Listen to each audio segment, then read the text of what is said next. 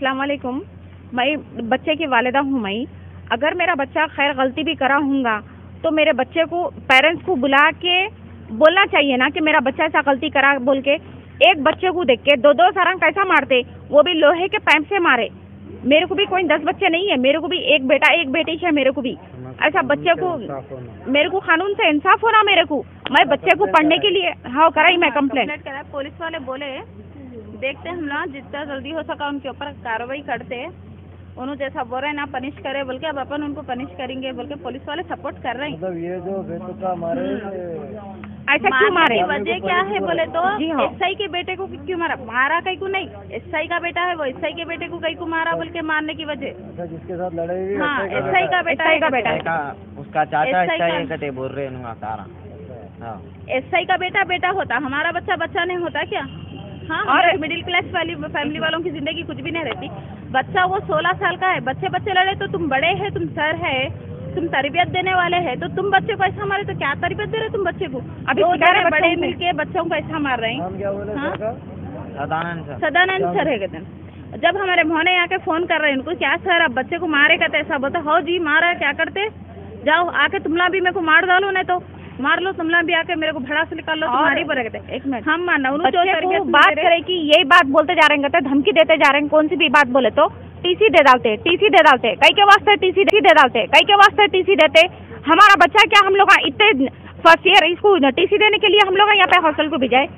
हम हमारा बच्चा पढ़ना बोल के हम भिजाए तो ये लोग टीसी की धमकी दे रहे बच्चे को। जैसे कौन बोलते हैं? प्रिंसिपल सर बोलते पूरे टीचर ही बोलते कहते स्कूल में। टीसी दे डालते टीसी दे डालते तुम लोग पढ़ने के काबिल के नहीं है तुम लोग गाउंटी है तुम लोग हराम की कमाई खाने को आई यहाँ पे वही बोलते कहते। कई के वास्ते बोलते भाई कौन हराम की कमाई खिलाए हमारे को? बताओ फिर हम भी बोलते। टीचर हम बोलते कहते स्कूल में बच्चों को खाना खाने के लिए बैठे तो। एक बार नहीं बच्चा चार महीने हो रहा जाके बच्चा स्कूल से। चार महीने जाता हूँ वहाँ पे मेरे को हम दो महीने है ना, जान दो, पढ़ लो अब। नहीं समझ में आ रहा मैं नहीं जाता हूँ मैं निकल जाता हूँ मेरे को हॉस्टल से निकाल दो रहा बच्चा। हम जान दो दो महीने है ना। होती ना। हमारे क्या मालूम बच्चे के साथ ऐसा दुश्मनी करके बैठे हुए हैं बोल के। तरीका है एसआई का भांजा है उसका भांजा है बोल के तुम लोगों की सपोर्ट कर रहे फिर हमारे को भी गरीब है हमारे कन भी कोई भी नहीं है वो एक ही बच्चा हम आज तक आज एक हाथ उठा के नहीं मारते। तो सारा ऐसा मारते। तरबियत ये रहती सरों की माने के डराते धमकाते निकाल देते ऐसा बोलते।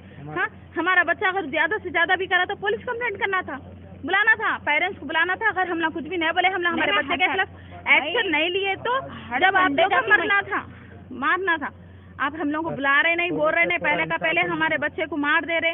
हाँ? नहीं भाई मेरे को पुलिस से पूरा इंसाफ होना मेरे को।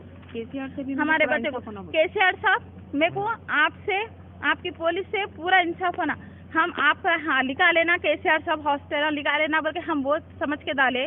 तो हमारे बच्चों के साथ इतनी नाइंसाफ है कई अस्सलाम वालेकुम वरहमतुल्लाहि वबरकातुहू मैं तेलंगाना माइनॉरिटी रेजिडेंशियल स्कूल से बात कर रहा हूँ। कॉलेज से फ़र्स्ट ईयर थी इसी में।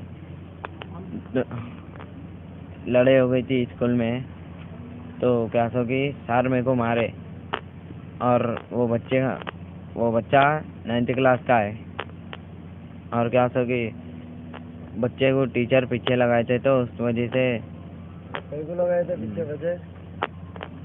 उन्हें फ़ोन बोल तो टोचिंग वो टॉर्चर कर रहे थे शायद। आपको हाँ। तो पीछे लगा दे के है? सदानंद सर है टॉर्चर करने की वजह? वो फ़ोन के पीछे लगाए थे। हम लोगों को हॉस्टल में फ़ोन अलाउड नहीं था तो फ़ोन ले ले गए थे। फ़ोन ले ले के आ गए तो जाके बोले तो हम उसको मारे तो यहाँ पर फट गया उसको। पहले मेरे को मारा। उसके बाद मैं उसको मारा। दो बार मारा और गच्चो बढ़ गया मैं दो बार मारे बाद उसके बाद तीसरी बार में गुस्सा आया मेरे को। मैं भी रात से मार दिया उसको। हाँ। सर बे- बेवकूफ़ा मार दिए मेरे को। उतारो पैंट उतारो सर उतारो बताओ